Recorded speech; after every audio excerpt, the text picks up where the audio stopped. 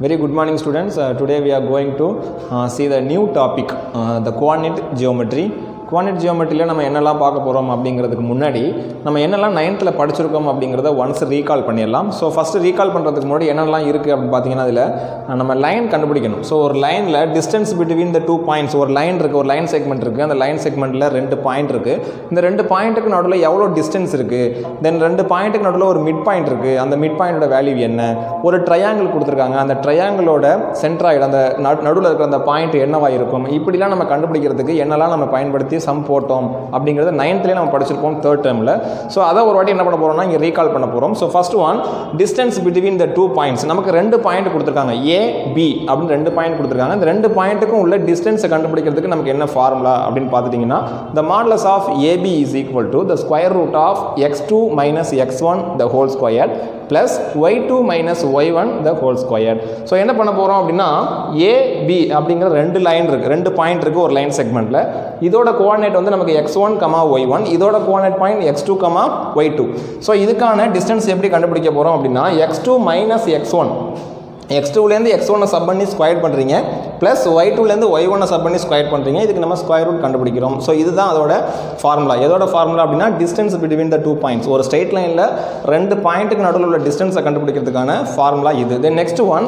ஒரு பாயிண்ட் ஒரு ஒரு லைன் செக்மெண்ட் இருக்குது ஒரு லைன் செக்மெண்ட்டில் சென்டரில் ஒரு பாயிண்ட் இருக்குது அதாவது மிட் பாயிண்ட் அப்படின்னு நம்ம சொல்லுவோம். ஸோ அந்த மிட் பாயிண்ட்டோட கோஆர்டினேட்ஸ் என்னவா இருக்கும்? இப்போ ஏ பி அப்படிங்கிற ரெண்டு பாயிண்ட் இருக்குது இந்த ரெண்டு பாயிண்ட்டையும் நம்ம என்ன பண்ண போகிறோம் ஆட் பண்ண போகிறோம் ஆட் பண்ணி டூவால் டிவைட் பண்ணும்போது அந்த மிட் பாயிண்ட் அப்படிங்கிறது நமக்கு கிடைக்க போகுது. எப்படின்னு பாருங்கள் ஏ அப்படிங்கிறதோட குவான்டிட்டி என்னன்னா x one comma y one B அப்படிங்கிற குவான்டிட்டி என்னென்னா x two comma y two so இந்த மிட் பாயிண்ட் அப்படிங்கிறது எம் இந்த இடத்துல தான் மிட் பாயிண்ட் இருக்க போது மிட் பாயிண்ட் அப்படிங்கிறது ஏலேருந்தும் பிலேருந்தும் சம தொலைவில் இருக்கணும். அதாவது இங்கேருந்து பார்த்தாலும் கரெக்டாக இருக்கணும் இங்கேருந்து பார்த்தாலும் கரெக்டாக இருக்கணும். அந்த இடத்துல நம்ம என்ன சொல்லுவோம்?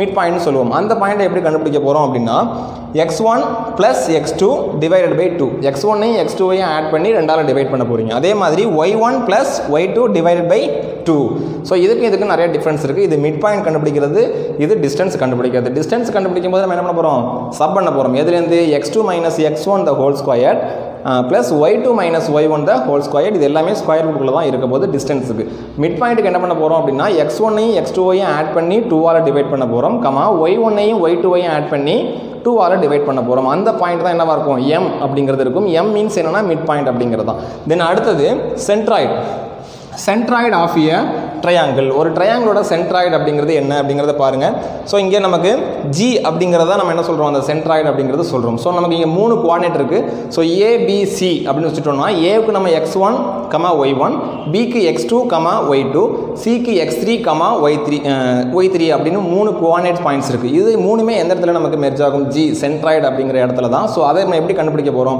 மிட் பாயிண்ட் கண்டுபிடிச்ச மாதிரியே தான் இங்கேயும் பண்ண போகிறோம் x one plus x two plus x three நமக்கு த்ரீ கோஆர்டினேட் இருக்கிறதுனால த்ரீ ஆல் டிவைட் பண்ணுறோம் அதே மாதிரி y one plus y two plus y three divided by என்ன வந்துடும் த்ரீ அப்படிங்கிறது வந்துடும் மிட் பாயிண்ட்டுக்கு நமக்கு டூ குவானிட்ஸ் இருந்துச்சு. ஸோ டூ ஆல் டிவைட் பண்ணோம். இங்கே ட்ரையாங்கிள் நமக்கு த்ரீ குவானிட்ஸ் இருக்கிறதுனால என்ன பண்ணுறோம் x one plus x two plus x three divided by three y one plus y two plus y three divided by three அப்படிங்கிறது தான் நமக்கு இந்த சென்ட்ராய்ட் ஆஃப் ஏ ட்ரையாங்கிளாக இருக்கும். சென்ட்ராய்ட் ஆஃப் ஏ ட்ரையாங்கிள் அப்படிங்கிறத நம்ம ஜி அப்படின்னு நோட்டிஃபை பண்ண போகிறோம் மிட் பாயிண்ட் அப்படிங்கிறத நம்ம எம் அப்படிங்கிறத நோட்டிஃபை பண்ண போகிறோம் டிஸ்டன்ஸ் அப்படிங்கிறத மாடலஸ் ஆஃப் ஏபி அதாவது டி அப்படின்னு நம்ம சொல்லலாம். டி மீன்ஸ் டிஸ்டன்ஸ் அப்படிங்கிறது தான் தென் அடுத்த வீடியோவில் நம்ம என்ன பார்க்க போகிறோம் அப்படின்னா செக்ஷன் ஃபார்முலாவை பார்க்க போகிறோம் செக்ஷன் ஃபார்முலாவில் இன்னர் அண்ட் அவுட்டர் அப்படிங்கிறது எப்படி இருக்கும் அப்படிங்கிறத நம்ம நெக்ஸ்ட் வீடியோவில் பார்க்கலாம். தென் அடுத்தது நம்ம என்ன பார்க்க போகிறோம் அப்படின்னா செக்ஷன் ஃபார்முலா அப்படிங்கிறது பார்க்க போகிறோம் செக்ஷன் ஃபார்முலாவில் எப்படி இருக்கும்னா இன்டர்னல் இருக்கும் எக்ஸ்டர்னல் இருக்கும். அது என்ன இன்டர்னல் எக்ஸ்டர்னல் அப்படின்னா ஒரு லைன் செக்மெண்ட் இருக்கும். அந்த லைன் செக்மெண்ட்டில் ஒரு பாயிண்ட் ஒரு பாயிண்ட் என்ன பண்ண போகுதுன்னா இன்டர்னலாக ஏதோ ஒரு ரேஷியோவில் நமக்கு என்ன பண்ண போகுது அது? பிரிக்க போகுது. ரெண்டாக பிரிக்க போகுது. அதை தான் நம்ம என்ன சொல்லுவோம் அப்படின்னா இன்டர்னல் அப்படின்னு சொல்லுவோம். ஸோ இங்கே பாருங்கள் ஏபி அப்படிங்கிற ரெண்டு டிஸ்டிங் பாயிண்ட் இருக்குது இந்த ரெண்டு டிஸ்டிங் பாயிண்ட்டை இந்த பி அப்படிங்கிற பாயிண்ட் அதாவது இதுக்கு ஒரு கோஆர்டினேட்ஸ் இருக்கும். அதாவது எக்ஸ்கமா ஒய்னு வச்சுக்கலாம். ஏபி அப்படிங்கிற இந்த டூ டிஸ்டிங் பாயிண்ட்டை இந்த பி அப்படிங்கிற ஒரு பாயிண்ட் என்ன பண்ணுது அப்படின்னா எம் இஸ்டு என் அப்படிங்கிற ரேஷியோவில் இன்டர்னலாக பிரிக்குது.